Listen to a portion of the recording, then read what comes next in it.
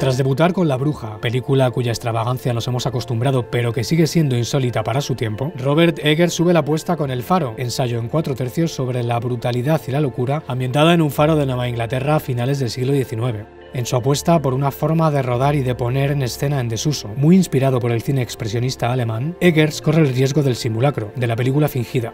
Sin embargo, la posibilidad queda desactivada por la comunión entre sus imágenes vetustas y el brutal viaje a ninguna parte de la pareja protagonista.